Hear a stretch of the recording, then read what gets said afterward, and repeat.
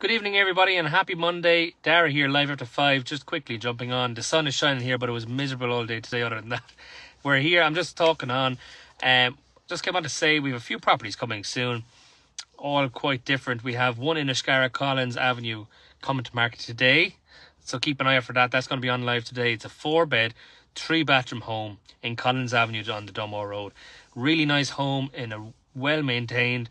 Um, reception room, dining room that leads into a kitchen, nice spacious back garden, front driveway, it's an end of terrace. Obviously Collins Avenue is lovely shrubbery around and award-winning estate that has the residents association. So that'll be live today. Keep an eye out for that one. We also have during the week we're going to have um, a house in Riverview in Kilmacthomas, which is a three bedroom, one bathroom home, terraced home with a driveway to the front.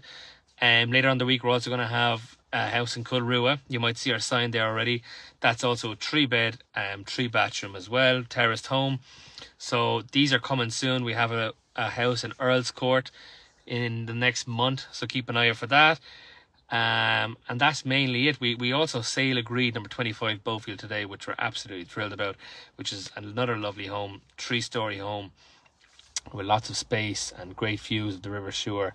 So it's been a good fun, busy Monday, and we're thrilled. So keep an eye out for the next hour, number one in a scar.